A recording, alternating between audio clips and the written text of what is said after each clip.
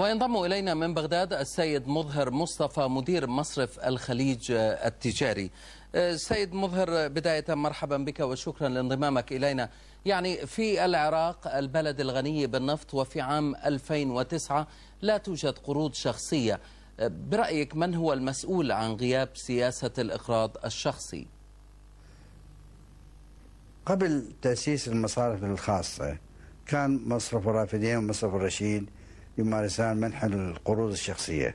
وفق ضوابط وفق ضمانات معينة. نعم. في الغالب كانت قروض لموظفين الدولة وهذه تختلف عن قروض أخرى كان يمارسها القروض العقارية. لكن بعد الأحداث اللي حصلت خلال السنوات الأخيرة المصارف الخاصة لم تمارس عملية الإقراض في القروض الشخصية. وهذه تعود لعدة أسباب. أولا آه، ضعف الضمانات. ثانيا آه، عدم استقرار المقترض نعم. في محله أو في عمله. ثالثا رقعة المقترضين واسعة جدا وعملية المتابعة للمصارف الخاصة عملية مكلفة وطويلة الأمد. لذلك أخذت المصارف الخاصة في الغالب تتجنب هذا النوع من الإقراض. نعم.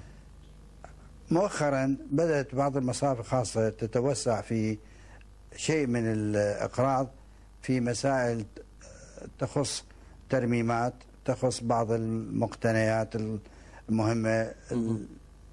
أهم من هذا اللي حصل انفتح باب جديد هو مسألة القروض المتوسطة والصغيرة. نعم. هذه القروض تتراوح عادة بين 5000 دولار زيدت إلى 25000 حد أدنى لغاية 250 ألف دولار.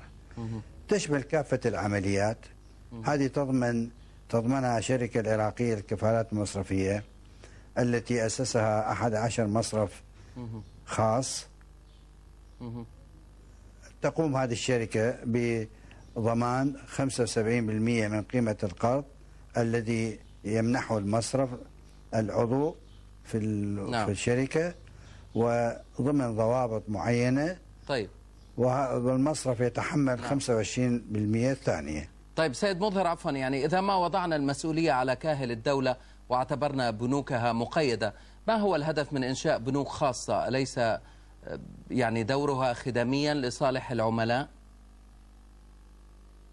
لا الحقيقة لا يسع هذا فهم هذا الموضوع نعم. المصارف الخاصة تمنح أيضا الإقراض الكبير قروض الكبيرة للمشاريع المتوسطة الكبيرة هذه أيضا تمارسها المصارف. لكن موضوع المشاريع الصغيرة المتوسطة هذا موضوع مستجد خاص بشريحة معينة بالمجتمع.